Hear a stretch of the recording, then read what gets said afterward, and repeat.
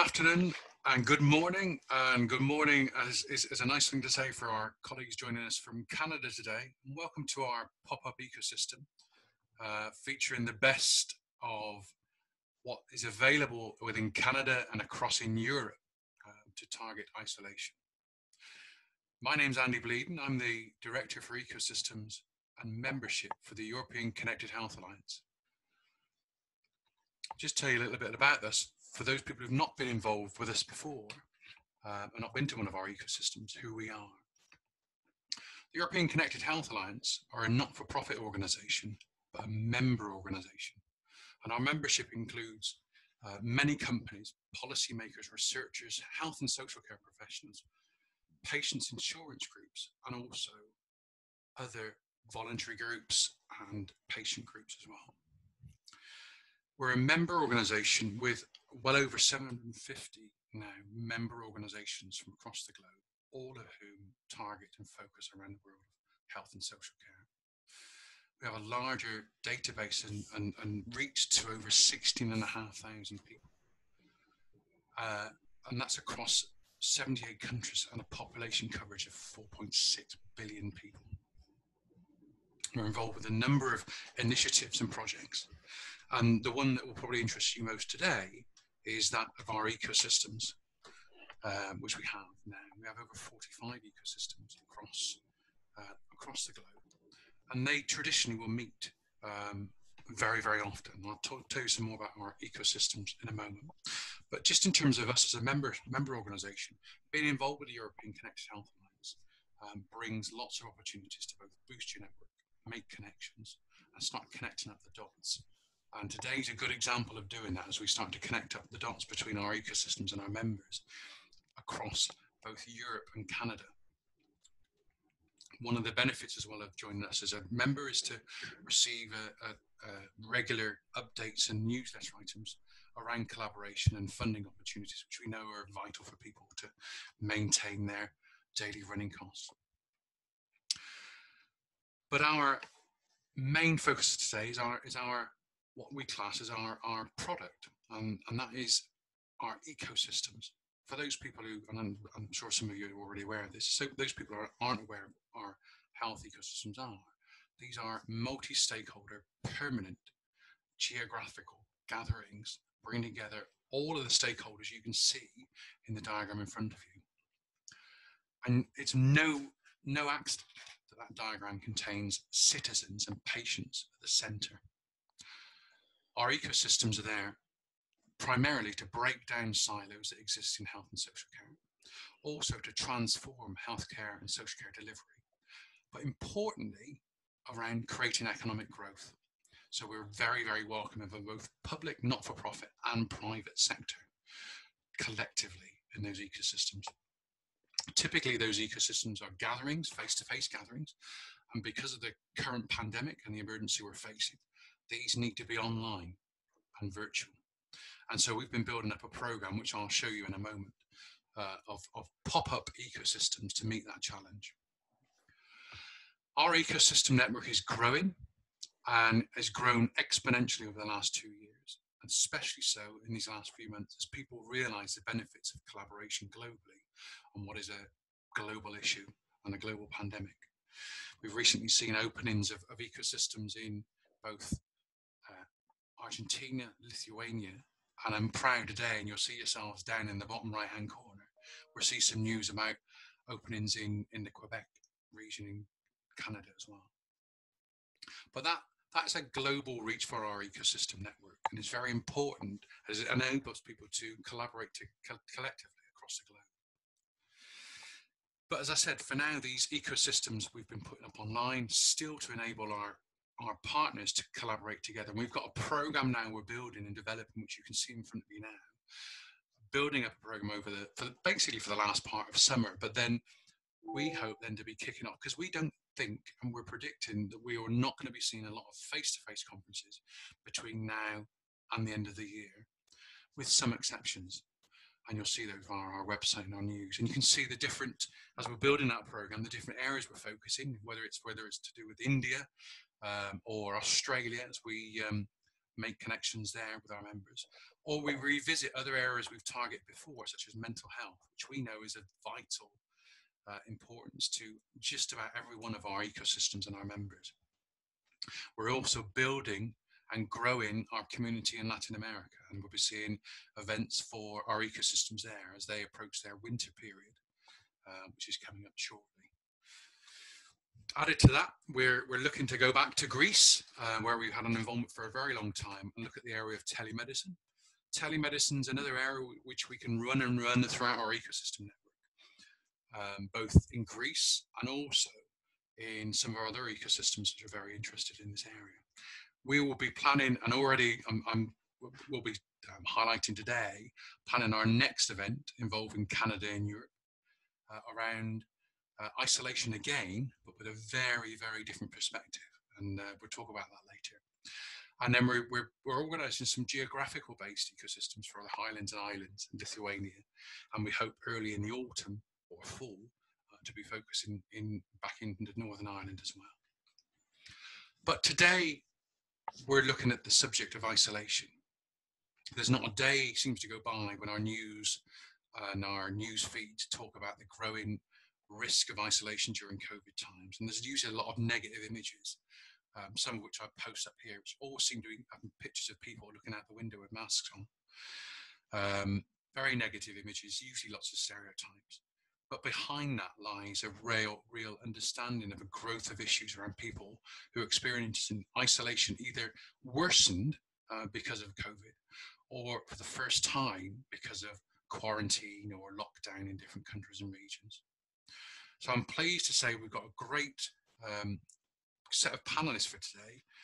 Uh, you can see in front of you. And we've invited what we hope to be an exciting group of people to speak, both from Canada and Europe, and show some of the ways in which we can collaborate together and break down some of those silos, transform health and social care delivery, and also then focus on creating economic opportunity.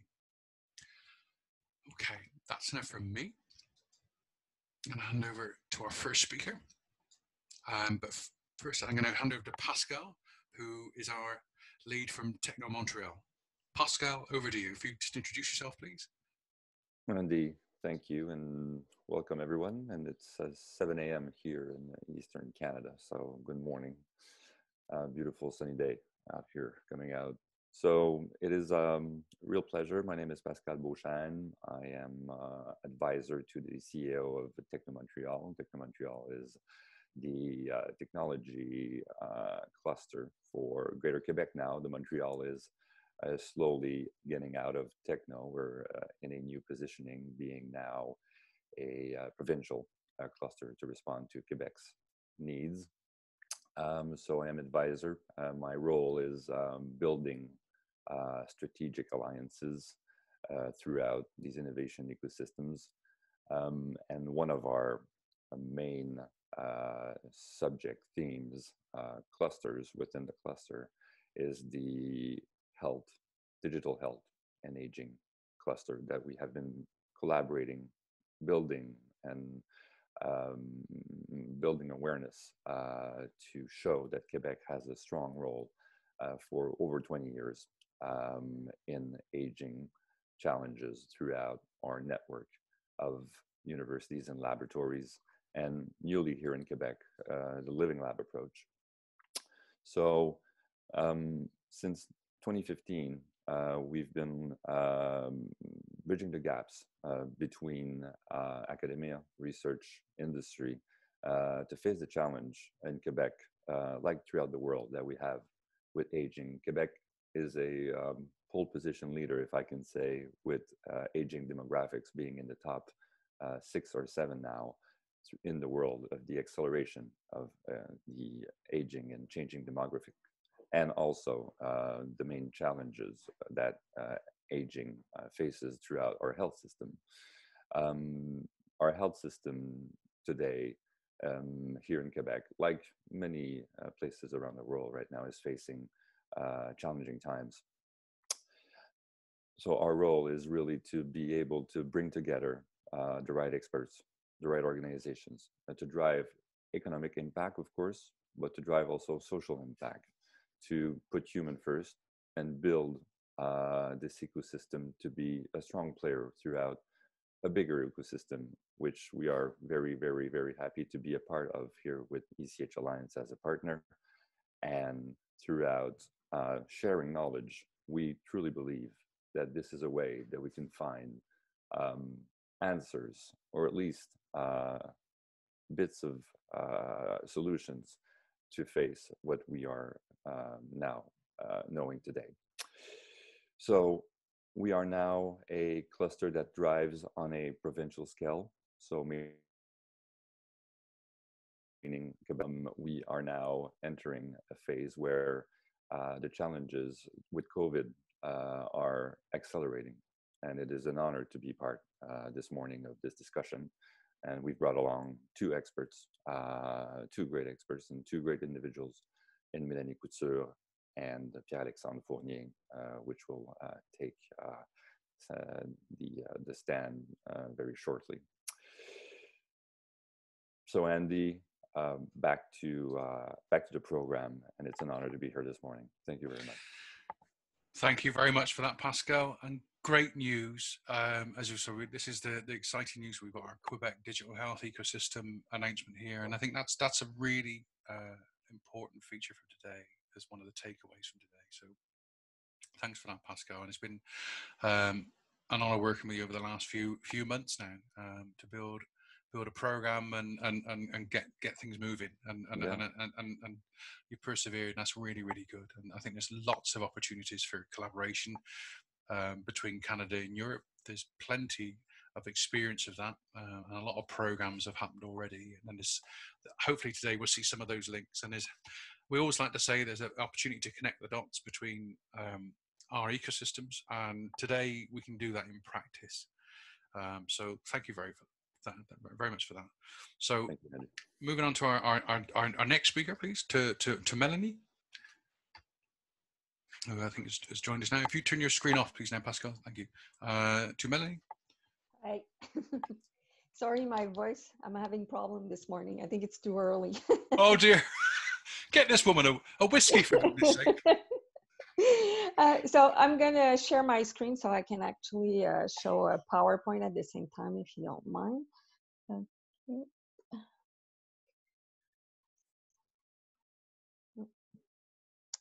Okay. Um, so can you see it? Yes, just make it full. Uh, wonderful, wonderful. Okay, oh, perfect. It moves too. Wonderful. Yeah, I tried something new today. um, so the topic of my presentation today is actually the link between social isolation technology in time of COVID-19. Um, so there's a lot of discussion during uh, times of COVID on how can we actually decrease social isolation because some people were actually not isolated and actually became isolated because of all the different measures we put in place for older adults and other people also during to prevent all the disease to uh, spread even more. Um, so Pascal wanted me to explain what is my role actually. Uh, so I'm, I'm, not a university researcher uh, or professor. I actually teach and I have an affiliation, but I'm actually an institutional researcher uh, within the public social and healthcare system. Uh, so which means I'm involved in different things, including um, governmental initiative and mandates. Uh, for example, during COVID, we actually, uh, there was committees of experts. So we were on the committee, we were 15 experts on the committee uh, to actually try to find how uh, are we gonna reduce the difficulties encountered by older adults and caregivers during confinement and also how are we gonna uh, try to slowly put people back together? Um, so i'm also specialized in social gerontology and technology and other issues. So i often have as an audience government social uh, people in the social and healthcare system universities organization community organization and also the general public so what I'm going to present today is some of the reflection we had within that committee and also uh, within one of our research projects uh, in technology, we actually did interviews uh, post uh, at really at the end of confinement with older adults uh, living in seniors residence to actually have their input on how they were experiencing uh, the confinement and all of this. So, so we do have some uh, input about technology also. Um, so just to put it in context, so what happened in Quebec, Canada, uh, in March, on March 13, there was a shutdown. Everything was closed except, of course, pharmacies and, and grocery stores. And it was there was a recommendation that older adults should actually stay in their house and not leave. Okay, um, so as some of them said they were in prison, so in a way because they couldn't get out. Um, so it was like that for almost two months. And then in early May 2020, older adults had the permission, let's say from the government, to be able to get out of the house and start somewhat living again.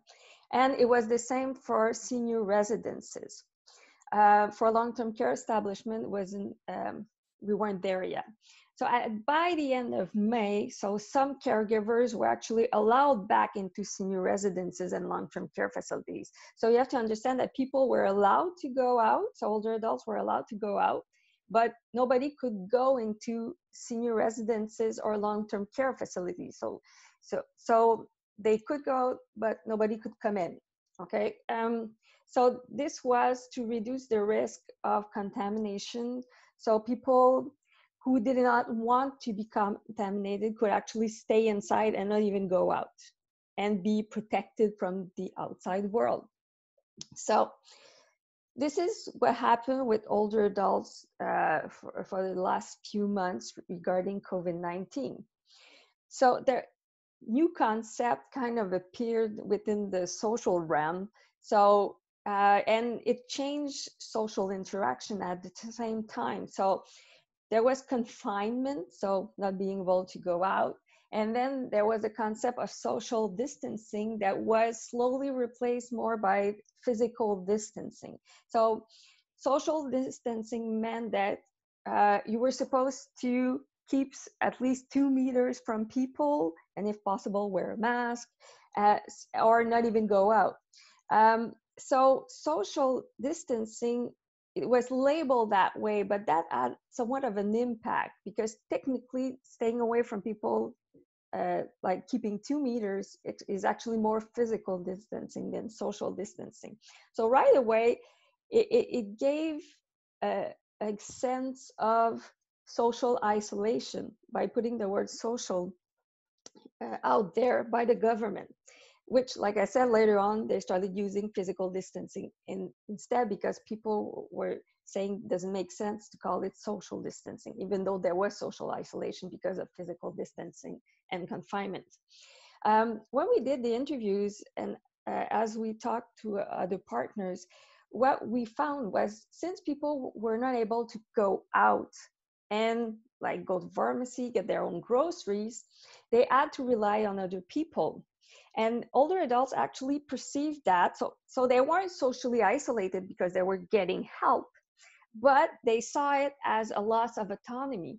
That we're saying that we, are we only have maybe 10 years left to live. I'm in good health. I'm able to walk outside and go out and all of that has been taken away from me. So they actually conceptualized it as a loss of autonomy but not because of their health but because of COVID-19 and all the um, the the and all the laws and things they had to be careful about. So when they live in uh, in seniors residence, they weren't allowed to go out. People couldn't come in. That somebody washed uh, the the the groceries that came from the outside. So there was a lot of new rules they had to buy, and they and they followed it because they fear being contaminated by and also contaminating other people at the same time.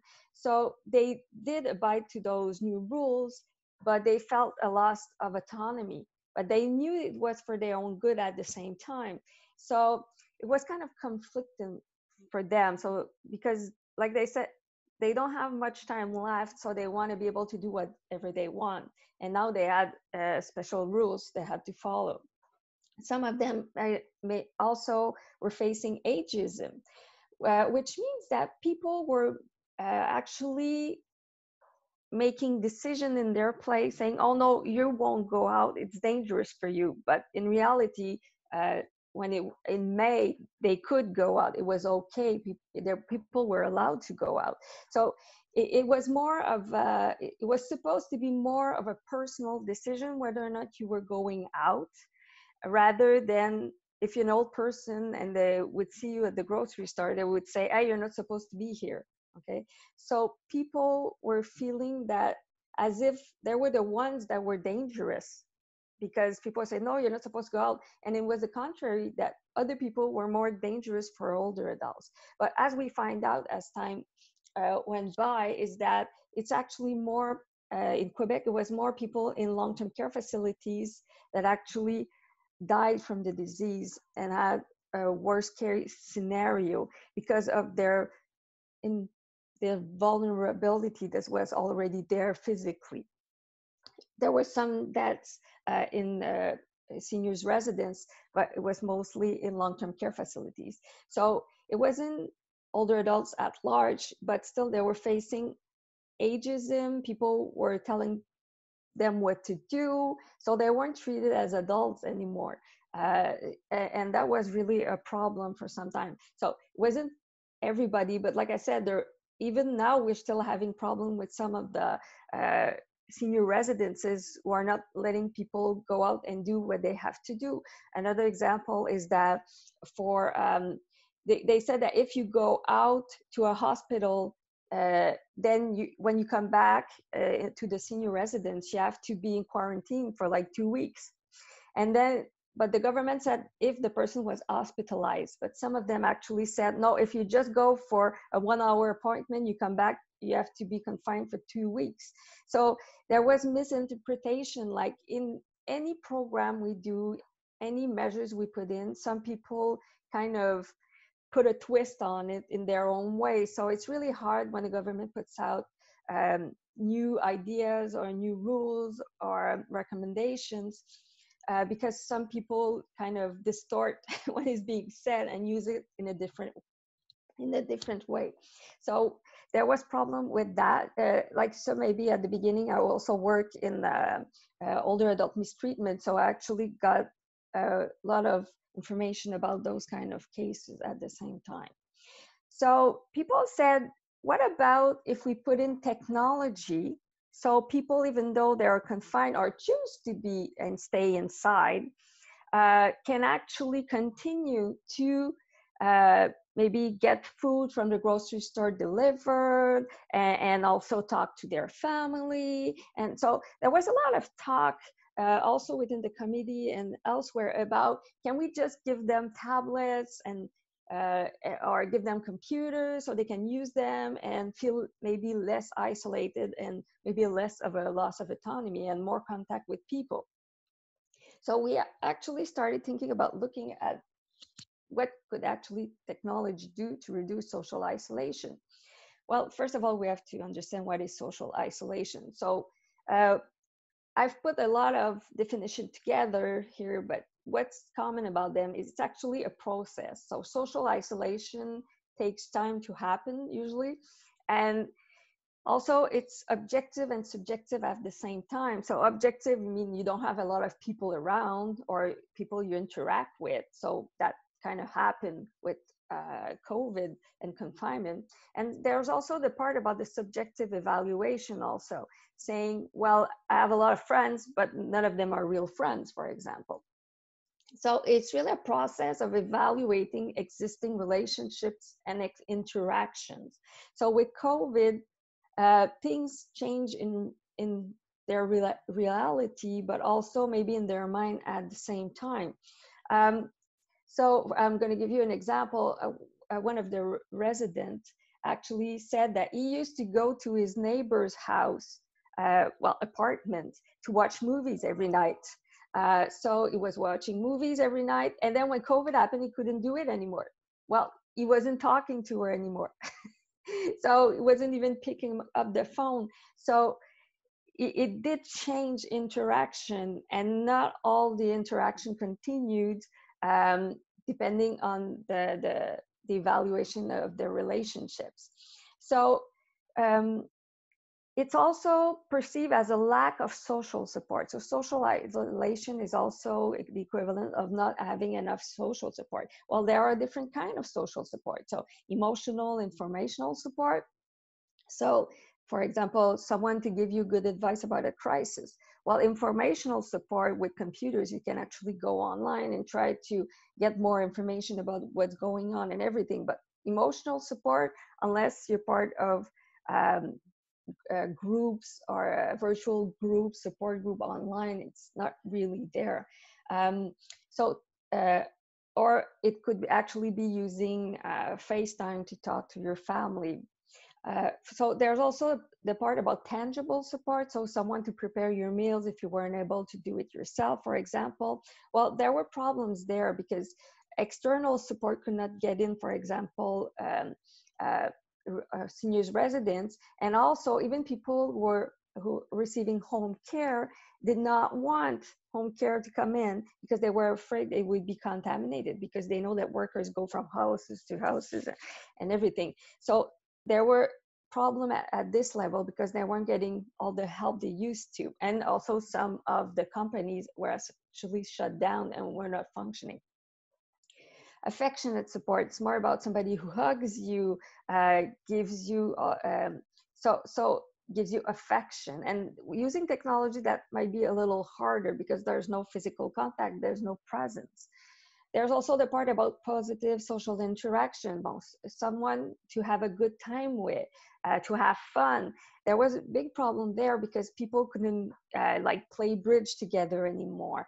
Uh, and also they were having negative uh, interaction with people who, who, did not approve that they were not wearing a mask that they were going out. And so so there this part was really uh, affected uh, by covid-19 interaction became tense and there's also the connectedness part. Well, you feel connected to your family, friends, and acquaintances. Well, if you see them less, you talk to them less, you don't see them in person, it's harder to feel connected to other human beings, especially if you are confined to your room, which happens a lot in uh, seniors' residences where people were in their room and were getting their plate and their food to their room, but they could not get out and see people face to face for almost two months or even more. So all of these aspects were somewhat affected by the changes uh, brought on by COVID-19. So the idea, what about technology? How can this actually help? Well, in uh, statistics show that a lot of older adults actually have access to technology. They might have internet in their house they they they have uh, maybe uh, phones sometimes they have tablets they have computers. Well in confinement what we found was that older adults were using technology but the problem is is that even if you have it it doesn't mean you're going to use it a lot.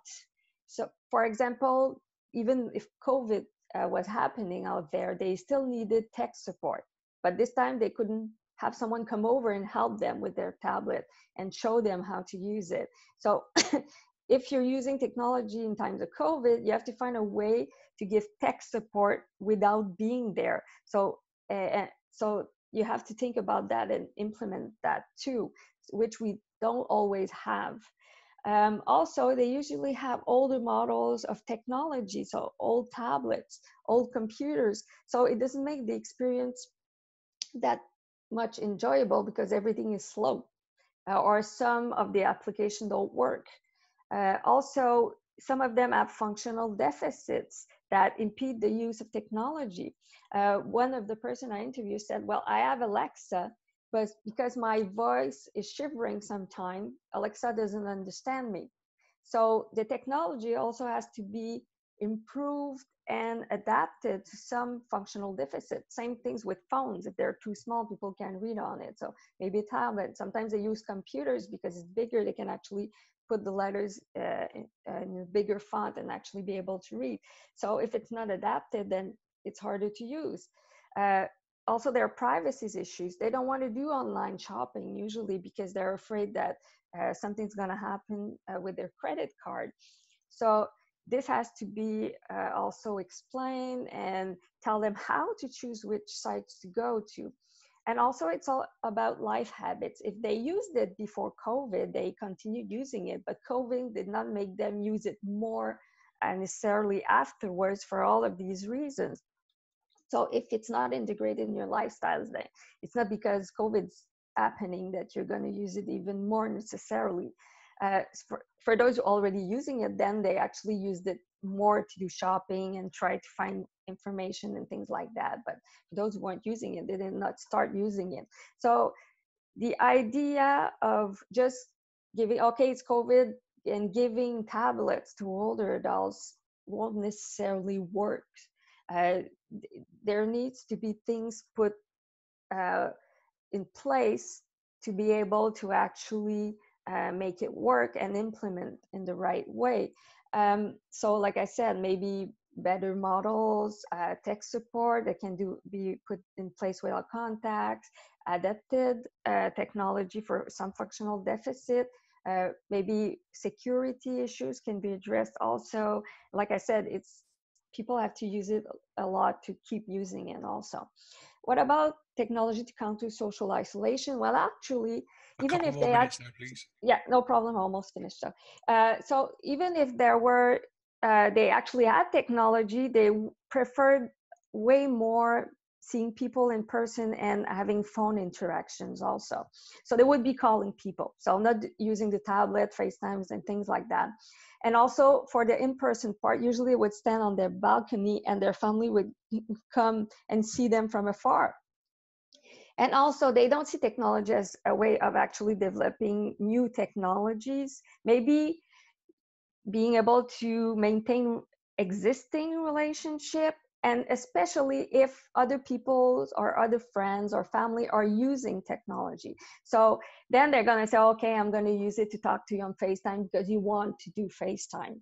Uh, so and also sometimes it's one person plays game on the web and actually invites the older adults to join them and explain how to use it. So they have usually they said they needed to be accompanied and uh, initi- and integrated in a group using it to actually use it also themselves for social interaction. Um, so in conclusion i have to say that from what I heard, from what we found also, is having access to technology does not mean older adults are going to be using them in time of COVID-19. So they're usually used as a last resort to maintain existing relationship and get social support. So they rather call than use the web to get support.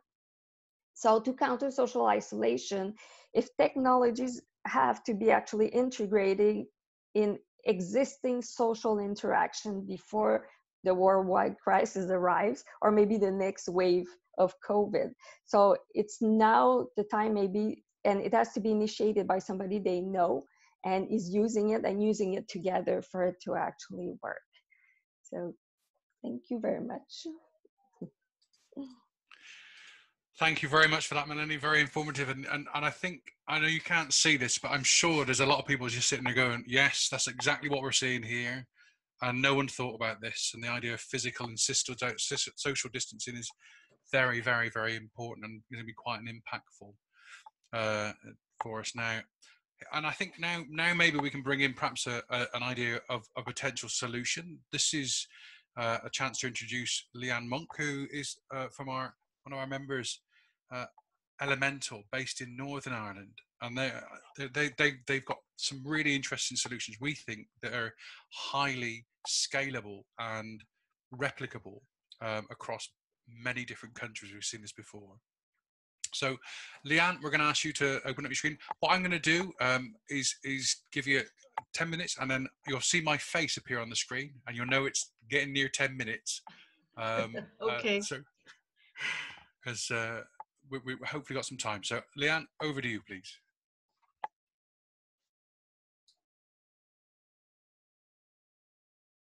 Can you see my screen there okay, everyone? Everything's fine. Wonderful. See your Great. screen. Off Thank you you. Um, so good afternoon, good morning, everyone. And as Andy said, my name is Leanne Monk-Ozgul, and I'm the co-founder and co-CEO of Elemental Software. Elemental is best described as a tech for good company, and we like to say it's a tech for good company with a difference in the sense that there's two co-founders in the organization, Jennifer Neff and I, and we're in fact not techies at all. Um, we are we were uh, former community development workers, and we spent most of our career working across our most disadvantaged disadvantaged communities in Northern Ireland. Um, we reached 13 years working in our most disadvantaged communities, and in the last few years of our careers as community workers, we were growing increasingly frustrated that despite being really successful in securing funding for our communities, that the people that needed the help most were still not engaging. They were walking past the buildings that we were running, running the programs and services in. And we were really honest with ourselves and said, we need to change the way that we're working. We wanted to make sure that the person that needed the help most was at the very centre um, of everything, giving them the best chance at life and their communities. What we'd also seen was that in our communities, we had our doctors, our nurses, our social workers, our OTs, our physios, but they were all trying their best equally to give people the best chance at life in their communities. And us as community workers, we were also trying our best. But the problem, the big problem that we identified was despite that everyone working so hard across our communities, we were all working in separate silos. And that meant that people were falling through the cracks and not engaging. And these were the people that needed the help most.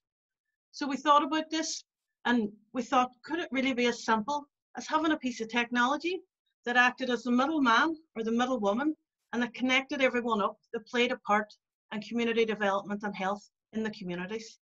And what we didn't realize at the time, what we were actually talking about was social prescribing. Hence, the Elemental story began, the Elemental organization was born. So, what is social prescribing? In its simplest terms, social prescribing is about connecting people to programs, services, events that are happening on a person's own doorstep in their community. Programs, services, and events such as a Couch to 5K program, a healthy cooking program, or a mindfulness session.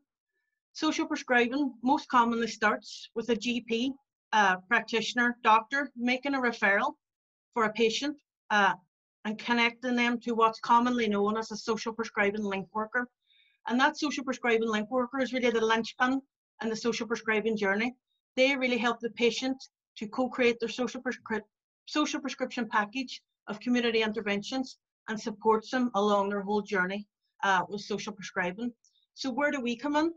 Elemental, we have a platform known as Elemental Core, and it's a digital platform that underpins the whole social prescribing ecosystem from start to finish in each of the communities. So just a little bit about uh, where we're at on our stage in our Elemental journey. So we're the market leader in terms of social prescribing technology across the UK and Ireland, and it's the platform for choice uh, for over 268 digital social prescribing hubs. It's growing each month across England, Scotland, Wales, Northern Ireland, and the Republic of Ireland.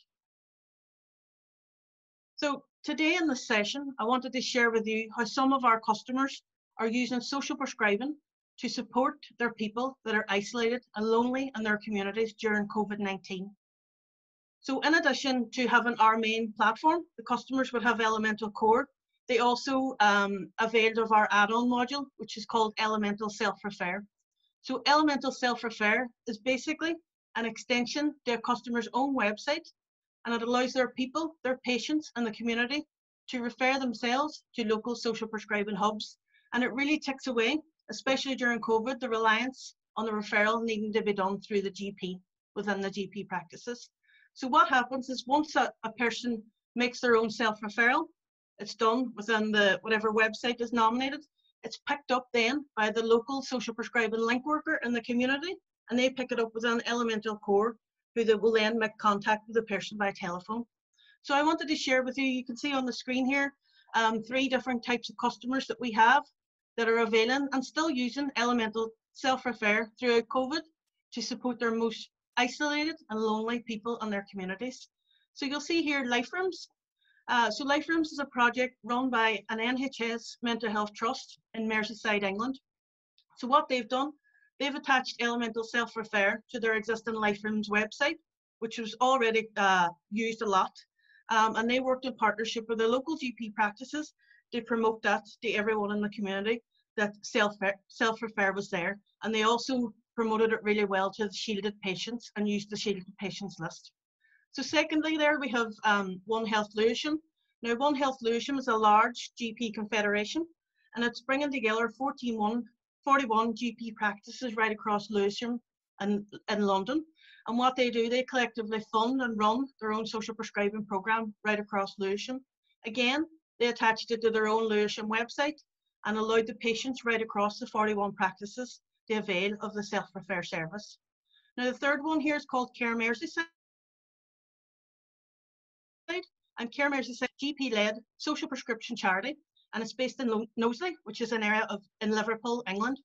And I want to chat a wee bit in more detail about that one. Again, they attach the self-refer to the existing website, but I want to just give you a, a bit more detail on their approach. So, as I said already, it's a social prescription charity.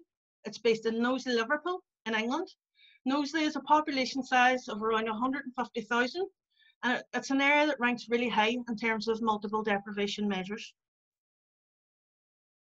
So you can see here a patient's journey. Now this would be the patient's journey um, if they're availing of the self-refer option um, via Care Merseyside. So you can see here point one, how it's initiated. Um, they work in partnership with the local GP practices. The GP practices sends out bulk text messages to different cohorts of patients. So it might be pa patients with certain medical conditions, patients that are on the shielded list, etc. So they would send them out in a coordinated way. So once the text message is sent out, the patient would open up the text message and if interested, simply click on the link and it brings them straight into Elemental Self-Refer. If they want to make the referral, they do so, and once that referral is made, it then goes to point three and is picked up by the local social prescribing link worker. They pick that up on our main Elemental Core platform. They make contact with the patient um, and they put in an appointment for an assessment. So once that assessment happens, we're on point four and they create a baseline. So normally the, the baseline would be created and they would use different accredited tools. So this particular project, they would use a combination of GAD-7, measuring anxiety, they might use the PAM score, which is measuring anxiety levels and activation levels, sorry, or they would use the WEMWBS general well-being. So those scores is taken and we really get a baseline. And based on how the patient answers uh, and their score um, on how they answered, it would bring up an elemental, a list of programs and services that they could join um, to help them throughout COVID. Um, so for example, um, a good uh, commonly signed up the intervention for Care Merseyside was called the Phone a Friend telephone befriending service. So that's one example of what the, the patients can sign up to as part of their social prescription package. So the link worker will co-create the package with the patient and then they'll say, okay, you're happy with the, the package. I'll call them with you, you know, on a weekly basis. I'll do a telephone call every week. But then at the end of every month, we'll take the baseline scores again. Now you're at point 0.7, Um, and you have some patients now within Care Merseyside that are on the programme three months, and we're starting to get evidence that the patient's anxiety levels is lower. We have that on the platform with the baseline. We've got the follow-up sessions for three months, and we can be confident that they're getting the support locally in the community that they need. So that's a, a typical journey uh, that the patient would go through using self-refer in Knowsley Merseyside. So self-refer, you could say that it's been a real success for Care Merseyside. Just three weeks into the programme, they'd already received a massive 341 referrals via patients referring themselves. And just to bear in mind how, how many referrals that is, the population size is, is only 150,000 for the whole area. So that's a massive number of referrals for them um, to look at. So it was a real success. And they weren't bombarded with uh, referrals either because they had a, a team geared up to take those referrals coming in. So you can see here on the screen the different reasons as to why people referred themselves during COVID.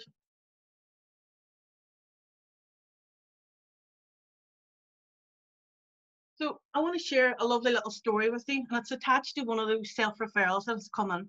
So meet Paolo. Paolo is a volunteer for the Phone a Friend service that runs in Knowsley. The Phone a Friend service is one of the community interventions that the patients could be referred to as part of their social prescription package throughout COVID.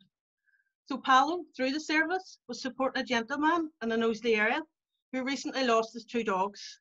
And because of that, he was feeling very lonely and isolated, and even more so now during COVID. So, as a result of the conversations Paolo and him were having, um, Paolo offered to help him fill out and send away an adoption form. They adopted new dogs through the, the, the Dogs Trust. The gentleman didn't really know how to fill out the forms, didn't have access to a printer, so Paolo supported him with all that. Um, and you can see here on the screen um, the nice little um, social media message that Care Merseyside just last week shared the great news that this gentleman gentleman got accepted to adopt a dog and is now a proud owner of a Lakeland Terrier called Reggie. So I think the story really highlights the power of social prescribing and the power of technology to better connect communities. And Care Merseyside, they've really made it really easy for that gentleman to get support during COVID by offering elemental self-refer attached to their website. So I just want to finish by saying and showing that this is Care Merseyside's full social prescribing model that runs throughout Knowsley. And you can see that self-refer is only one part of the puzzle when it comes to bringing their overall model together. Um, thank you very much, and I'm happy to take any questions after everyone else has presented. Thank you. Thanks very much for that, Leanne. Thanks for for for giving us a. I think what is a really really good example of a self referral service that is scalable.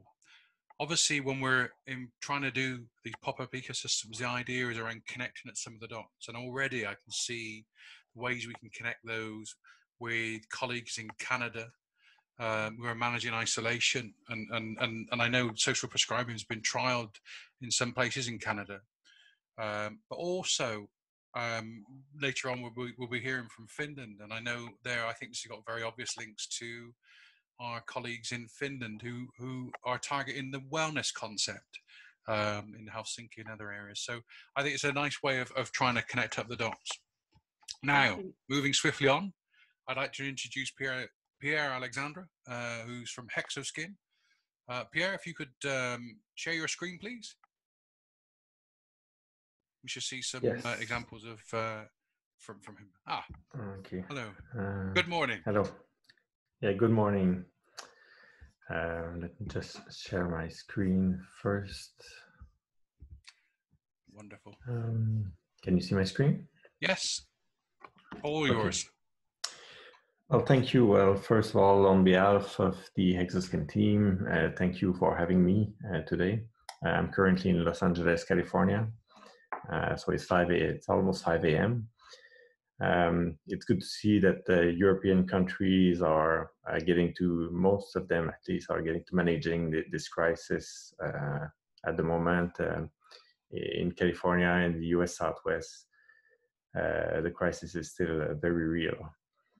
Uh, so today I'm, I'm going to uh, introduce you uh, very briefly to what we do at Hexoskin uh, in general, and then more precisely what we are, we're doing right now uh, to keep patients safe at home, especially these patients who are the most vulnerable to the virus, patients with chronic cardiac conditions and pulmonary diseases, so that we can keep them at home safely.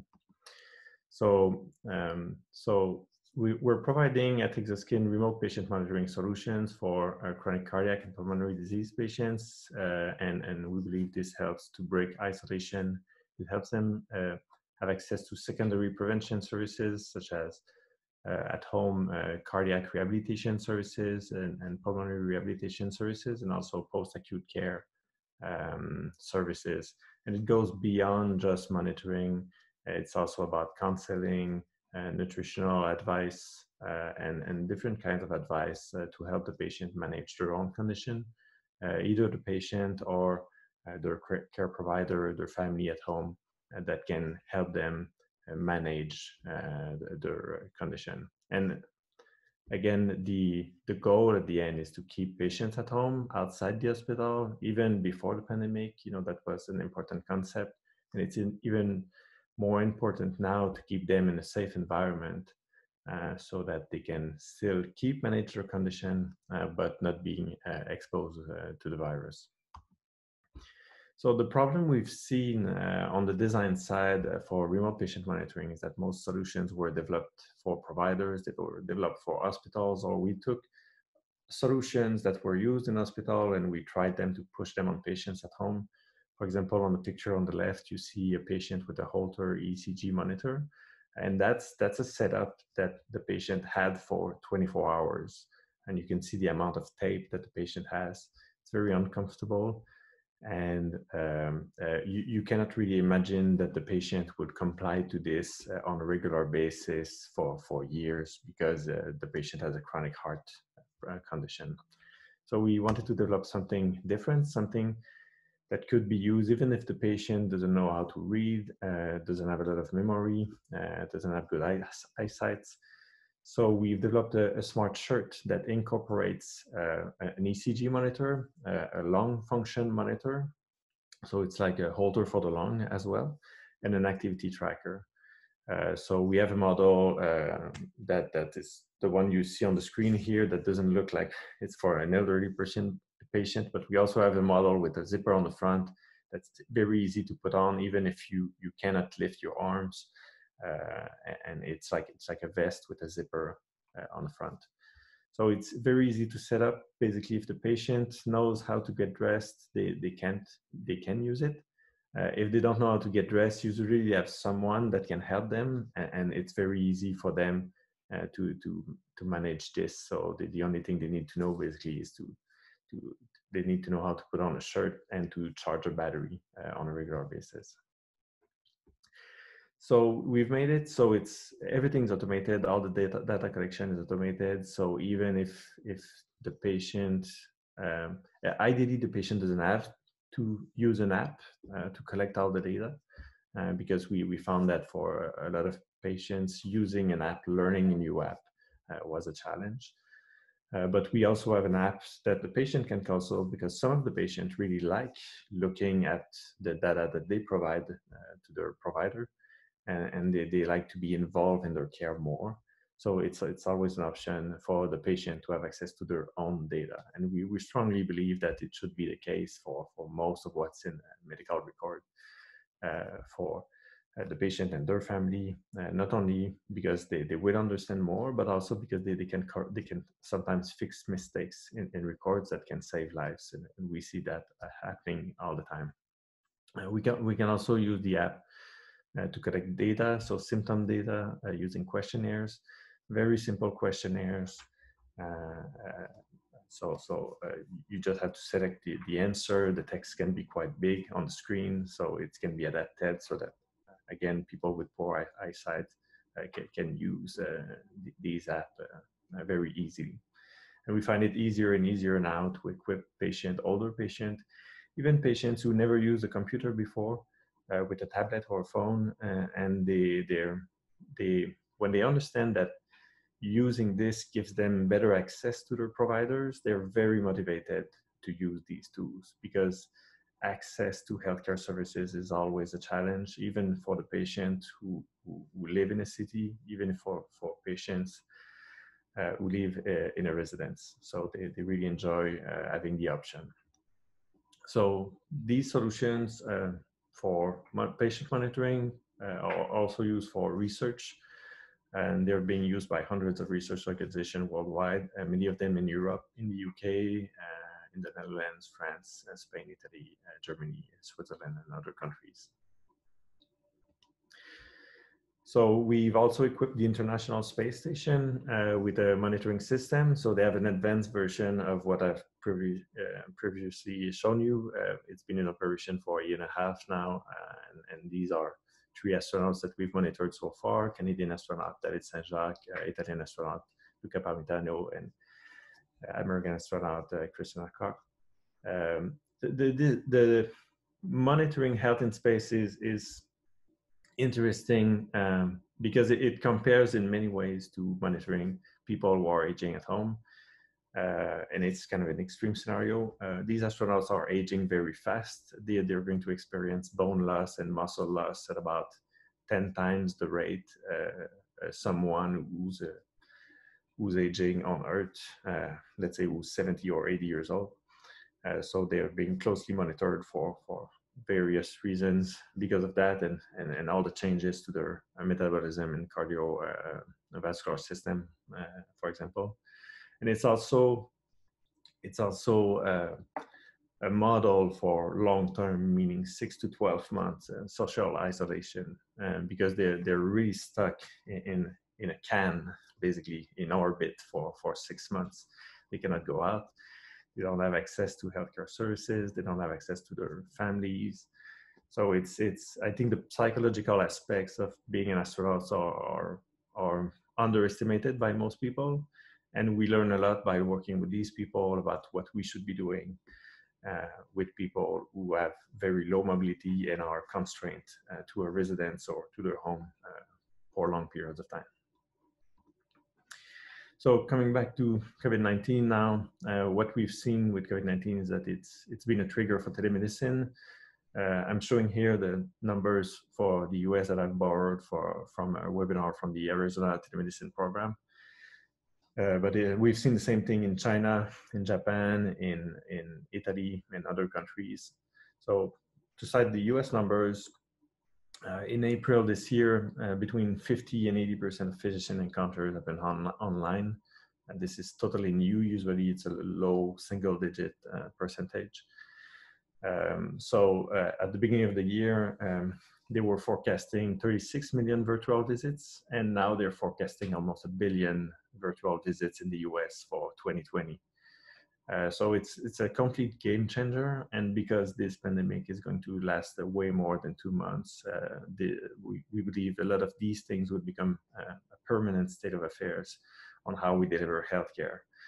Uh, not, again, not only in the U.S. and Canada, but but in, in most of the world, uh, go, moving forward. So we need better tools. That what that means that we need better tools to deliver medicine remotely because right now most of what's being done was video consultations. We've added video and phone, and we've allowed people to work that way, basically. Uh, but that's not that's not enough. If you want to manage chronic condition, if you want to manage aging at home, at some point you need to collect symptoms data. You need to collect vital signs. If you want to renew prescription, adjust treatments, uh, do different kind of intervention, you need to be collecting data from the patient at home. Uh, and, and we need better tools to do that. Uh, we believe, well, at Hexoskin, we, we're working on part of the solution, and but we're going to need a lot more ideas uh, to, to solve the problems for all the categories of patients that we need to take care of, uh, at home. So for COVID-19, uh, we've been part of other um, uh, coalitions uh, in Canada, in the US, in UK, um, among these. So the a coalition organized by the MITRE organization in Washington, D.C. Uh, for COVID-19 that is meeting on a bi-weekly basis online. Uh, also with the uh, Alliance for AI in Healthcare, uh, based in Baltimore in the US, and various other local coalitions in, in, in, Quebec, Canada, in the US, for example, in California, Arizona, and Texas. So we, we started a, a monitoring program uh, with Hexoskin of COVID-19 patients. And the goal really is to be able to uh, monitor recovering patients at home. Most patients can recover from this disease at home and should recover at home. Uh, but we want to avoid a failure to treat uh, uh, uh, events where the patients are at home and the condition is degrading very rapidly and we've seen cases where the patients were getting better and then uh, they were uh, decompensating or degrading uh, very rapidly. So we want to really avoid uh, these situations, uh, especially in, times where um, we, we, have, we have peaks um, cases and, and, and the, the hospitals are basically overflowing and we need to return more patients at home that we should sometimes uh, we want to be able to offer this option of monitoring data at home and collect data. And, and another thing too, um, I, th I, think that's that's very important for the long term because now we're dealing with the first millions of patients, but we need to be to be prepared to to deal with the next hundred million patients uh, over the next few years. Is that we need to collect data for research, and when we collect data about the the, the progression of the disease at home, uh, we we collect data that will help us better design the standard of care for this disease and also to better understand how we should design uh, clinical trials for new treatments, for new drugs uh, for this disease. And I think that that's very important. Uh, in, in our case, uh, in the short term, we're using uh, this data, we're collecting the, this data with the aim of developing a model, an AI model to, to predict the patient trajectory. Basically, what it means is that if a patient is recovery, recovering at home, uh, we want to understand uh, if the patient is at risk of needing uh, ICU level care in the next 48 hours so that we can we can admit the patient earlier and maybe prevent uh, prevent a death or prevent uh, a very acute situation with that patient uh, with early treatment uh, in the hospitals. So if, if you want if you're interested in this program, if you want to join this program, if you, you work for an hospital and you want to provide uh, new services for remote patient monitoring, especially in, in, in right now, either for COVID-19 patients or for cardiac or, or, chronic cardiac or pulmonary patients, please contact us. Uh, the email address is here, contact at hexoskin.com. Uh, and we'll be very happy to share uh, what we've done so far and, and how uh, we, we, can help you set up programs uh, with our devices, but also with other devices and other tools. Uh, we're happy to um, provide advice even if it doesn't include our technology uh, because we've been running these, these programs for almost 10 years now. So this is an, ex an example of data that we collect uh, from patients with Hexoskin. So I, I think what, what, one thing that's very important with the smart shirt that we do is that we collect um, the lung activities, so breathing rate, breathing volume, and one of the the symptoms that's the most uh, correlated with the progression of the disease is shortness of breath. Uh, so if you can track shortness of breath in an objective manner, we believe that you, you can have a better assessment of the progression of the disease in a patient than even sometimes the patients themselves, because sometimes the patients don't feel shortness of breath. We've seen patients with an SpO2 of 50, 60, percent that were still talking to their providers. They, they didn't understand that they were breathing faster. They, they were not aware of that, uh, that, that their body was trying to compensate for that. Uh, and, and it's something very unique that we can measure uh, with the smart shirt in addition to cardiac activity.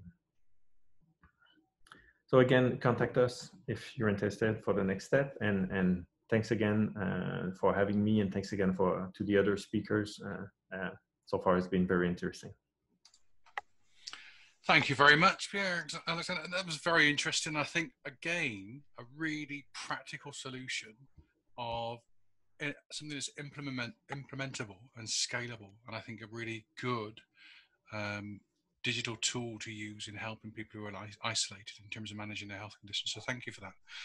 What's also really interesting is that's very much tied up with the, and you saw the references there to the to the space um, uh, space, World of Space, and that's going to be the subject of our second uh, Canada Europe collaboration pop up ecosystem because we are hoping to feature the Canadian Space Agency in that as well. So that's quite an exciting thing because obviously you can see there the real tangible need to be using tools to measure isolation and deal with it in a very isolated place. And uh, you can't get more isolated than, than several thousand miles away from, from the UK up in space.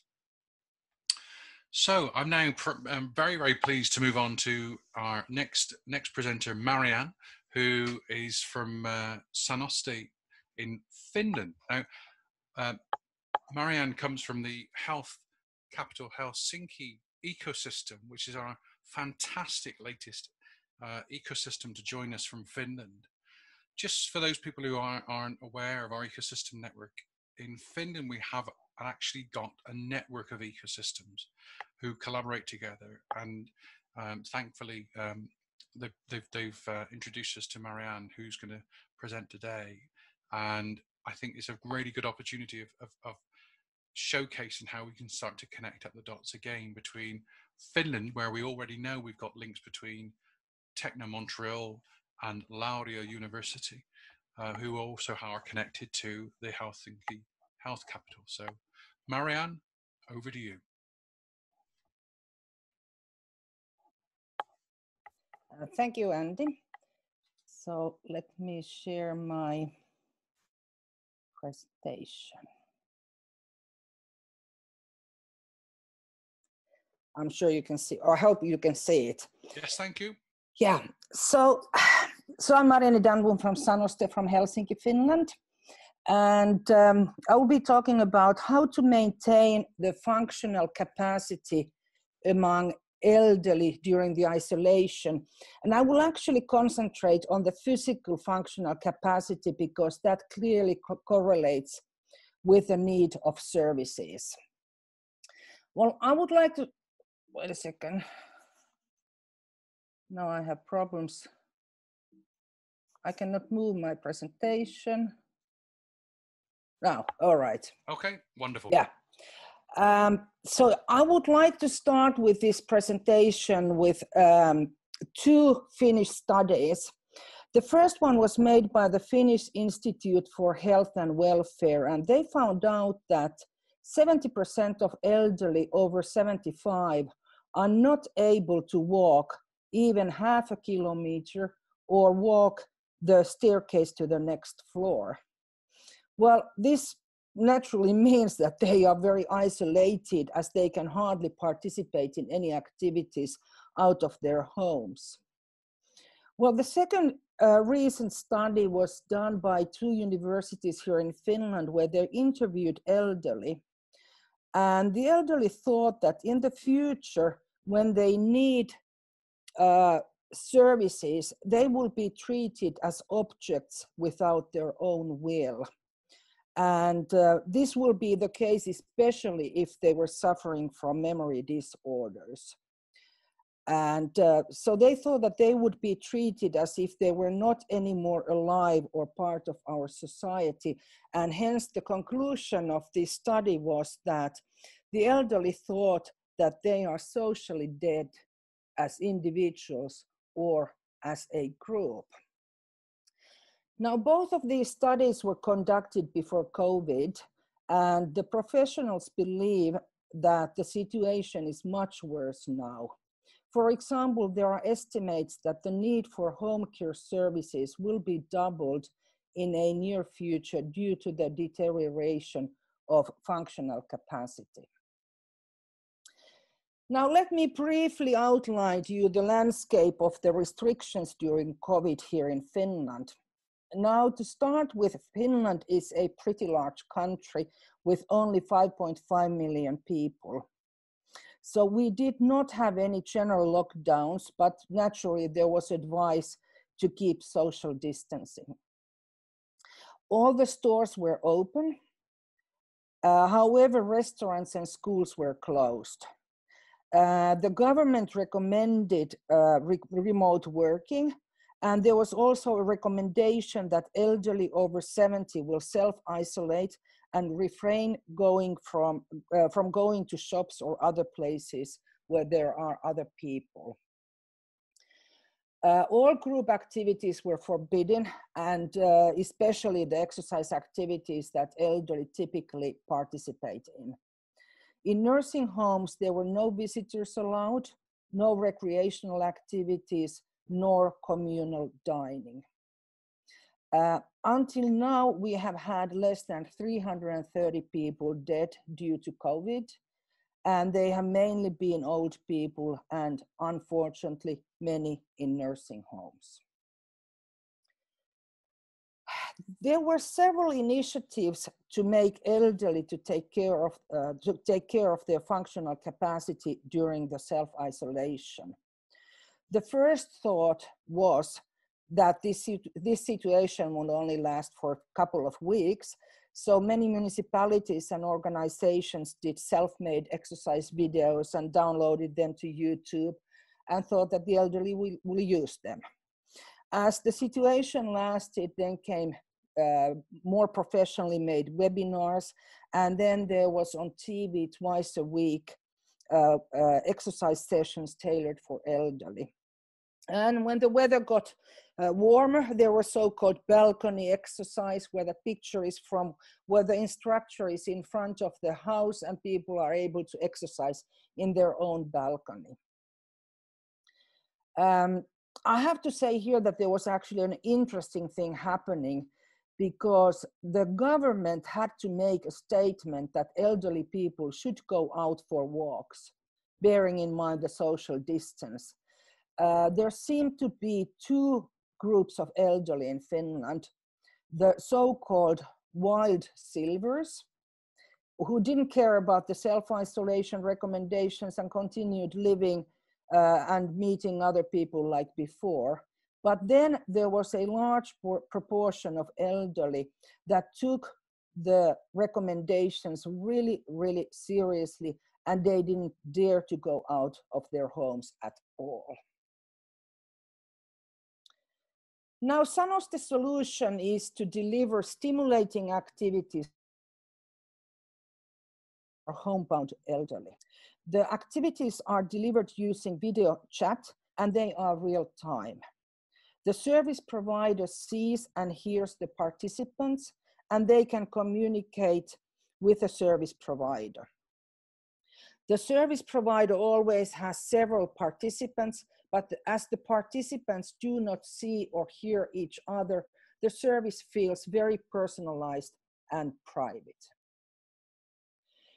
We have versatile, versatile selection of services such as chair exercise, balance exercise, singing.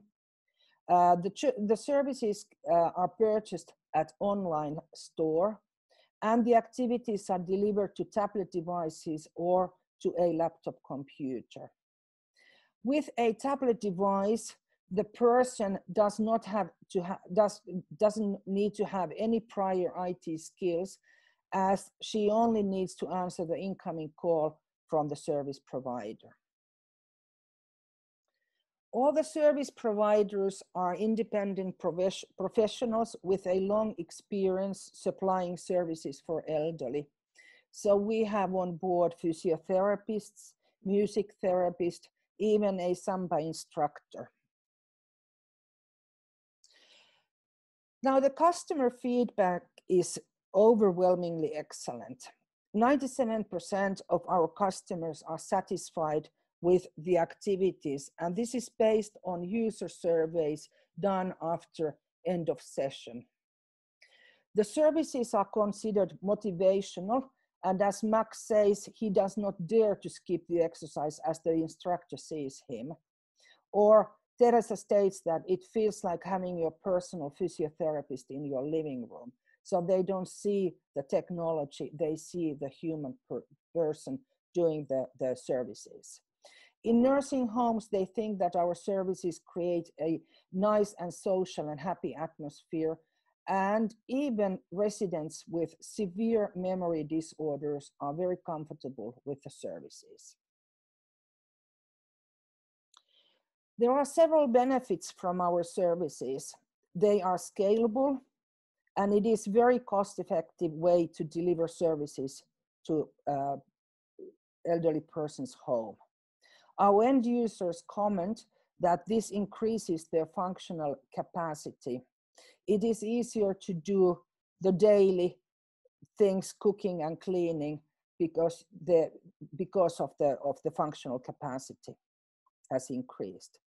They also value the possibility to participate according to their own resources. With this, I mean that, for example, if your left side is paralyzed, you can still exercise with your right side, and this doesn't make you feel inferior as it would in a normal group exercise.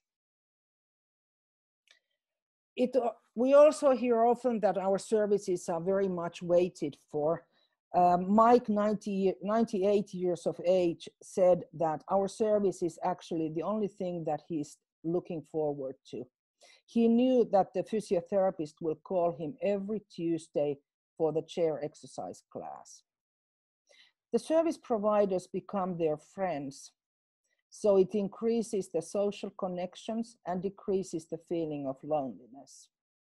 And that we see increases the feeling of safety to live at home. Sanoste was established some years ago to provide joy and well-being for elderly as we believe that everybody has the right to age with dignity. So thank you for listening. Thank you for that, Marianne. Very, very interesting to listen to. And yes, I think that idea about everybody has the right to, to age with dignity is an important one to, to close with. I just have to say, I love the quote from the person who said, I dare not skip the exercise because the instructor's watching me. It's like having your own personal sergeant major in the room. So exactly, exactly. so moving swiftly on. Um, thanks for that and great input from Finland. I'm really pleased now to do what we're going to class as a double bill. Uh, because we not only have uh, input from a company based in the UK, but also uh, a linked company, very, very closely linked, of the same name, based in Canada. So we managed to hook up and connect the dots up between um, the, uh, with the Strata Health, um, both from the UK, and I'm going to hand over now to Clint to explain why. Great, thank you, uh, thank you, Andy. Uh, much appreciated. I'm calling in from uh, just uh, southeast of London in, uh, in Rochester, Kent, a typical British summer here, a little sun, a little rain, and a little wind. So uh, hi to uh, everyone today and thank you. let me just share my screen if I can.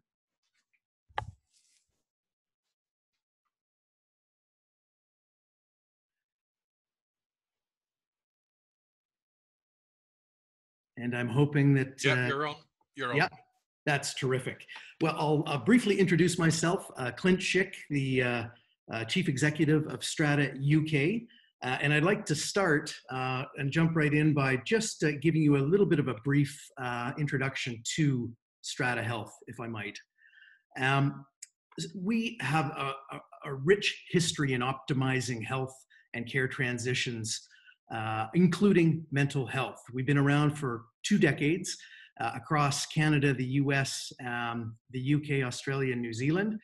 Um, and really, the ethos of Strata and our focus uh, really transcends across uh, our core health, social care, and third sector care coordination. And it's the very same for mental health. It really means matching needs to available capacity downstream and then optimizing care across the health and care continuum just to give you a highlight of some of the areas of mental health that, that we've um, that we've targeted over the uh, years was uh, VIHA, Vancouver Island Health Authority, um, in uh, the west side of Canada, and that was our first um, back in kind of mid 2000s, um, 2006 actually. Uh, Alberta Health Services. We've got um, a variety of things in Ontario and Quebec, and most recently in, uh, in the northeast of England. And I will say during COVID, uh, we were a key component of a command and control center that is still active within the northeast of England. And so, um, you know, pretty proud of some of those uh, deliverables within, within that space. I'll talk just briefly on uh, our first um, kind of uh, position in, in uh, automating mental health uh, and addictions and improving access through new ways of working. And it was within the Vancouver uh, Island health system. Vancouver Island is an integrated healthcare system in Western Canada with circa a uh, million people, 114 services that we mapped out, and 125 bedded facilities offering uh, spaces as well for mental health and addictions. We proved uh, over a decade ago that delivering mental health across publicly funded systems can greatly enhance um, the, uh, the system's uh, efficiency and patient's outcome. Uh, we really looked at three key considerations uh, during this. So let me just highlight those briefly. One was really matching resources to patient needs. Now, this requires a pretty detailed directory of service uh, that needs to be then cataloged within specific clinical pathways.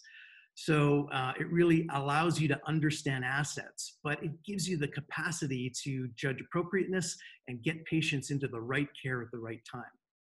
The second thing is that you need to understand capacity. So it's one thing to have kind of a Rolodex of services, and and that's really important, and not to be uh, not to be uh, you know belittled at all.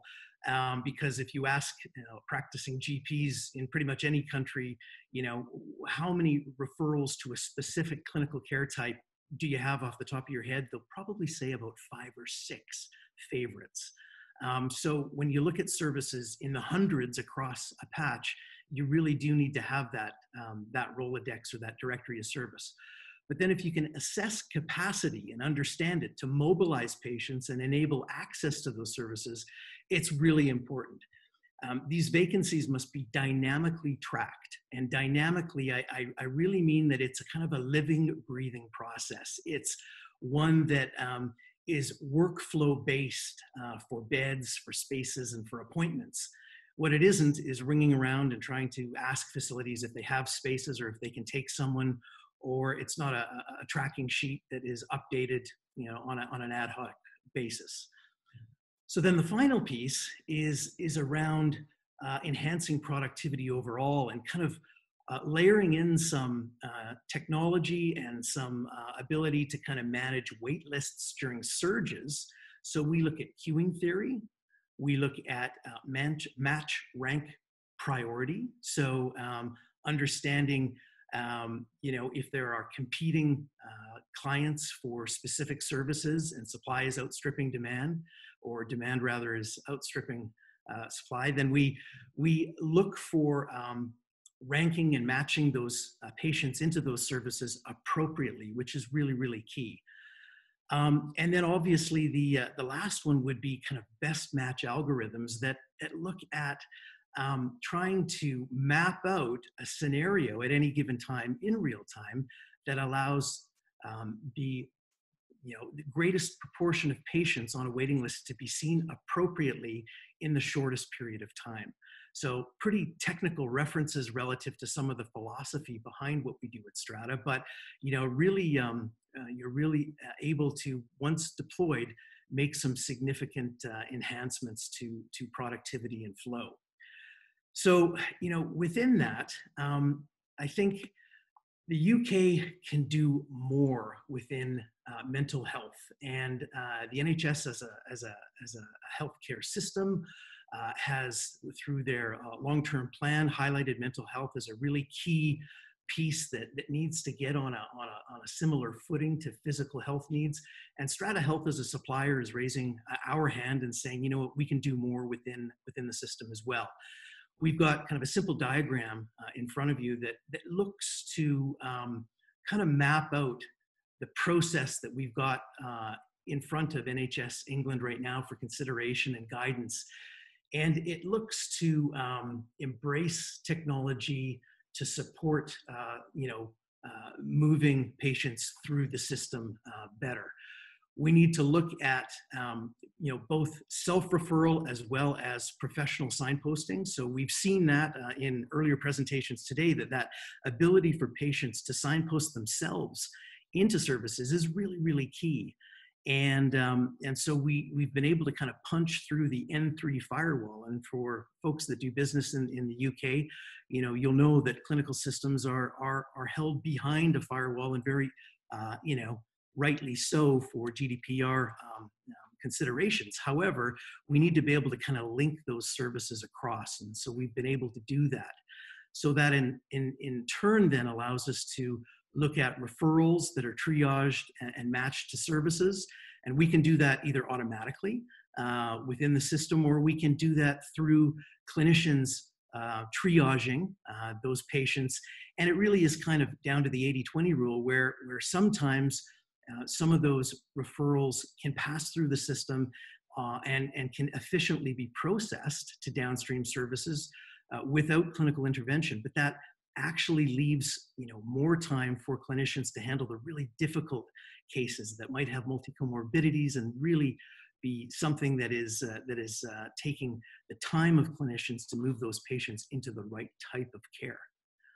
As we move through that directory of service, we can look at caseload, we could look at scheduling, we could look at patient attendances, and we're looking to uh, actually interface and integrate with um, uh, an organization, uh, Attend Anywhere, that is actually a virtual session that can be logged. So we can actually start to see these interventions happen from a virtual consultation standpoint. And again, one of the previous presenters showed that you know there was a huge amount of uptick during COVID-19 relative to that online uh, consultation, and rightly so, to keep patients and and and uh, and clinicians uh, safe and and socially distanced.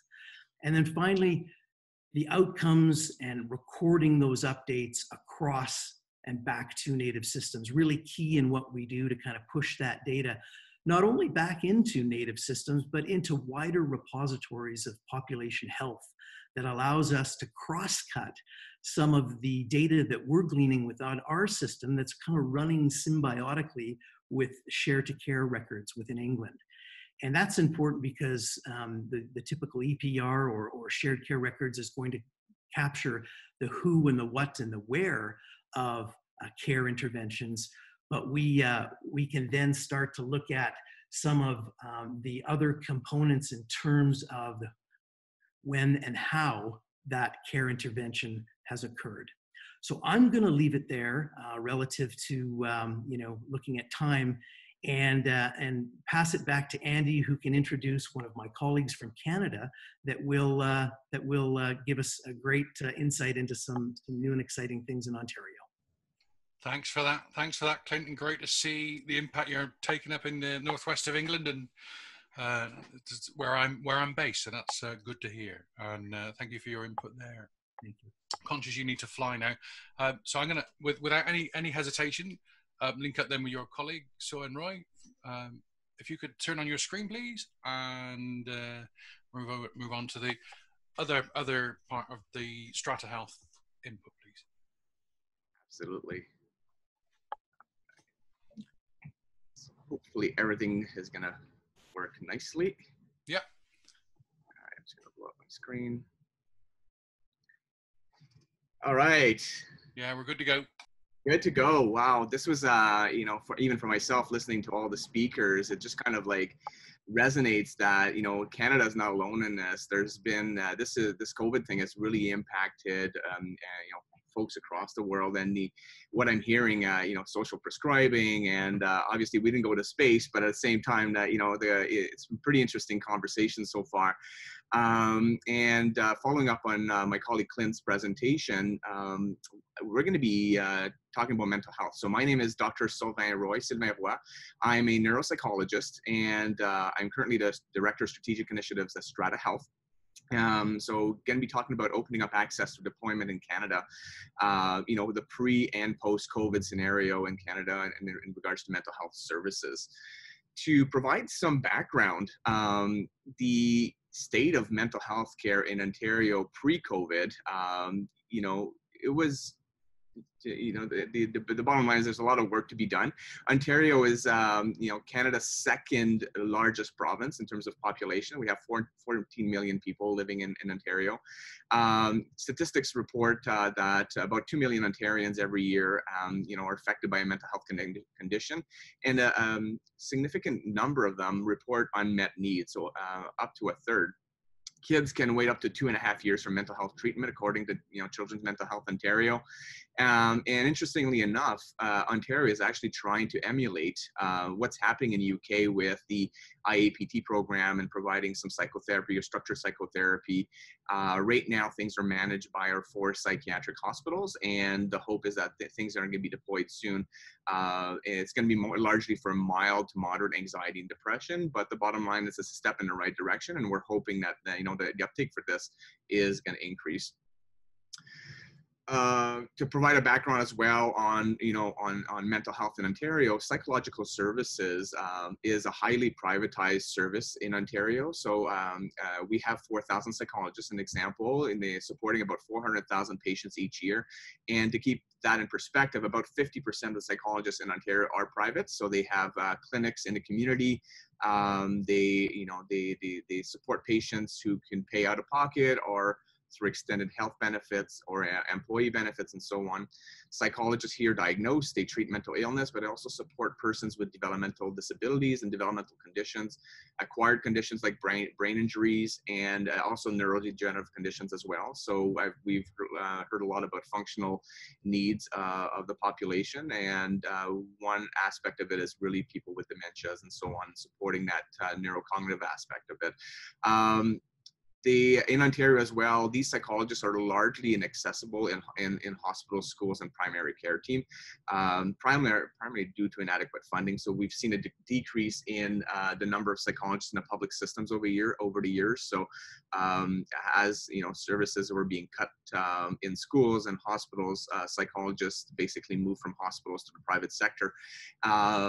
Now I'm hearing that the Ontario government is thinking of investing hundreds of millions of dollars in mental health in Ontario. Hopefully, that will mean that um, you know more access in the public systems, but at the same time, it's going to be hard to reverse course after decades of privatization in Ontario. So.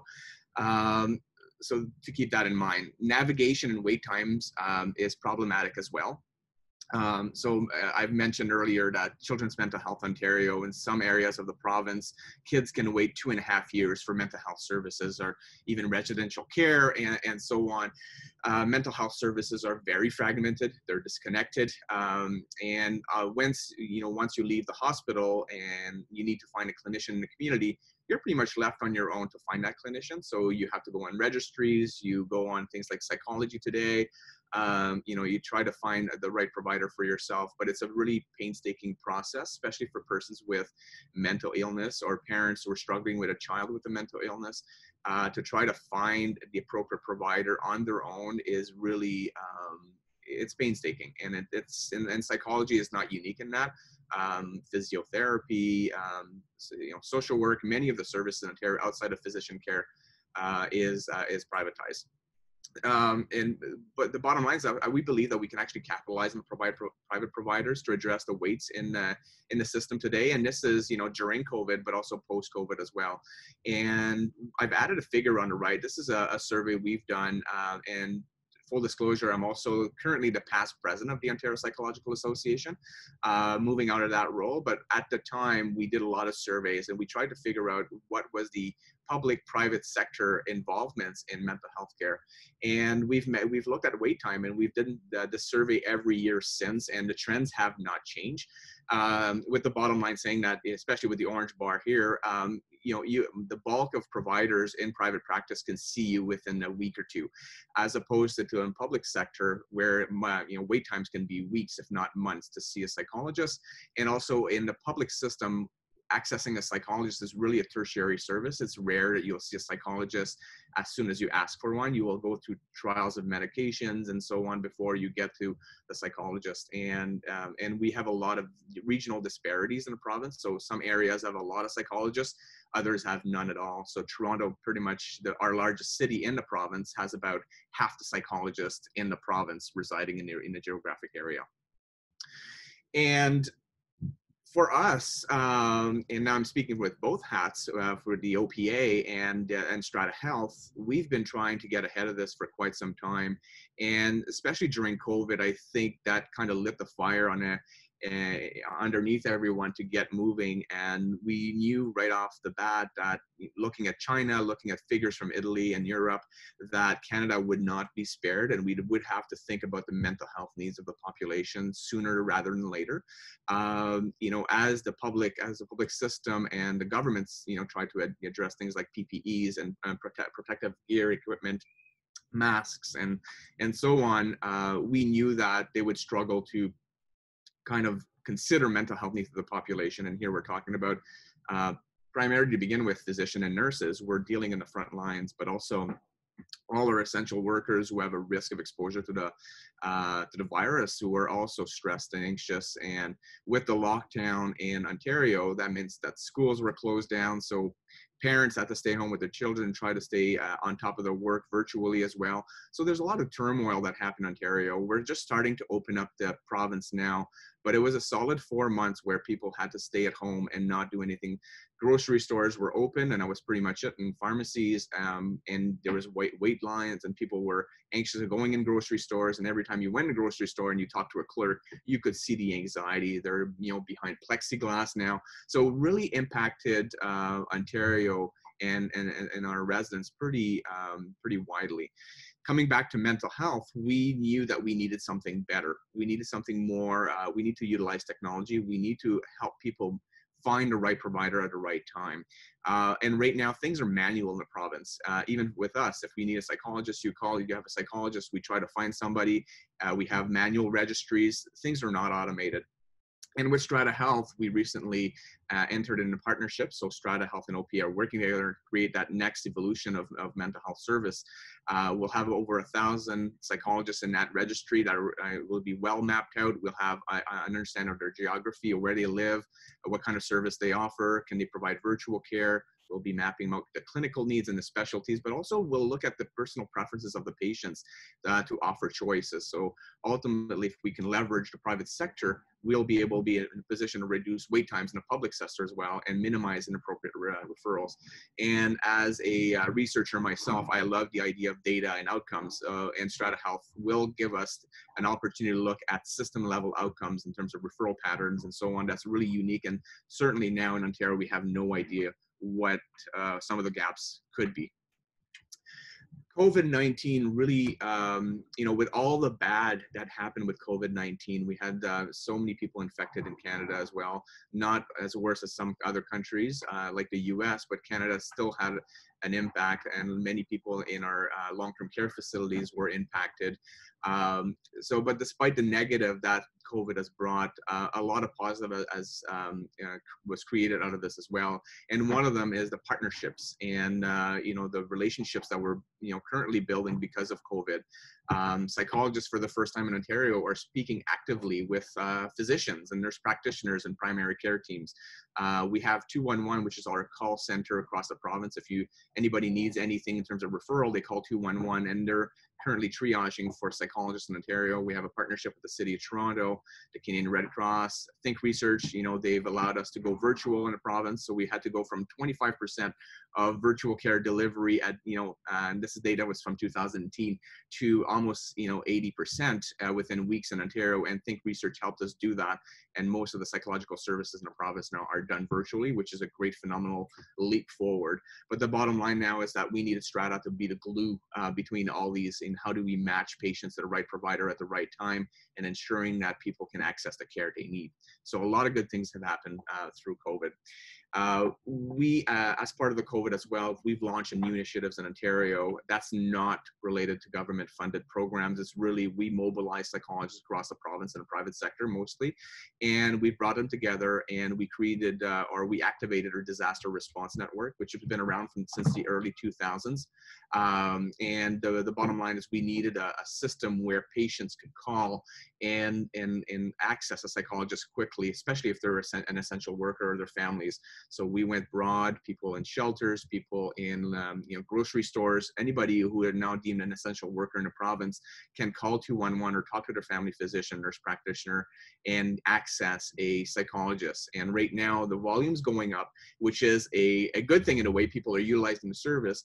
But now because things are so manual within our office, this is now the time, okay, now we need to automate a lot of these things. Because if we go from, you know, 5, 10, 20, 30 referrals a day to 100 referrals a day we have to make sure that we know that we're sending people in the right queue. And you know if somebody has a good psychologist has very little wait time in one area let's let's you know you know divert some traffic to that psychologist just so we can actually meet the need more quickly because there's nothing worse than waiting for you know a week or two or a year for a psychologist. So right now our turnaround time is still 24 hours to connect to a psychologist for these essential workers and we want to keep it that way as long as possible. And you know, this brings me to, uh, you know, the final slides. I know the time is running short and I'm trying to speed through this presentation a little bit to, to give some time for questions. Um, but the bottom line is everybody in the world needs access to the best mental health services society can provide. Uh, we have a lot of clinicians, uh, a lot of great clinicians in Canada and even in the US, my colleagues in the US and, in uh, Europe as well. Uh, but a lot of us are unconnected to the healthcare system. So uh, Ontario has the private system and has the public system. They don't talk to each other. Psychiatrists and psychologists do not talk very well in Ontario. Uh, together, which is a, which is a shame because we do have pockets of innovation in Ontario where we have those family health teams, uh, where we have psychiatry, psychology, physicians working under the same roof, and then the innovation can spark clinical innovation and client care really is maximized that way. But at the same time, we shouldn't stop. This shouldn't stop. You know, the province, the, the way it's set up today, shouldn't stop us from innovating as well. And especially now with the virtual care capabilities and technology, it doesn't matter if we have a psychologist in Ottawa, which is another our, our you know capital Canada, or in uh, a patient in Toronto, we can connect the dots pretty quickly now through virtual care. And if the physician is in uh, the north of the province, you know, 600, 800 kilometers away, it doesn't really matter anymore because we can connect the dots virtually. And now is the right time to kind of close that loop. And if there's wait times in the public system, let's see how we can navigate things uh, in the private sector as well to ensure that the patients are connected to care more quickly. And and vice versa i think strata health has done some great innovative work in the public sector as well and is in ontario here is a really key player for navigation from hospitals to things like palliative care and so on. Nothing stopping that and the ontario government from embracing that technology as well to helping the, that public system get a little bit more uh, effective in terms of resource matching and, and referrals. But I, I digress. And uh, the bottom line is we're you know we're working hard in, in Ontario now, and I think what we've done in Ontario has uh, implications for other parts of the world. And and we're hoping that the uh, you know the we're hoping the COVID will disappear. That's my frank uh, comment for the day. But at the same time, we know it's probably going to stay with us for quite some time, and the mental health implications are only becoming